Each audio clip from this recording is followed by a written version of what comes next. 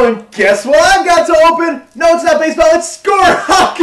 Oh my gosh! I thought I'd so throw something different in there for you since all I've been getting is hot packs of the Topps Jumbos. Score hockey, oh my gosh. Seven cards per pack. all right. Marian Hossa. Blackhawks. Derek Roy. Wah. Oh my gosh. See, I hate it when you get Patrick Waugh and then Derek Roy. Uh, anyway. Mikael Samuelsson. Wasn't that guy on the World's Strongest Man before? Or is that Magnus Samuelsson? Magnus for Samuelsson. Magnus for Magnus. Sam Gagner.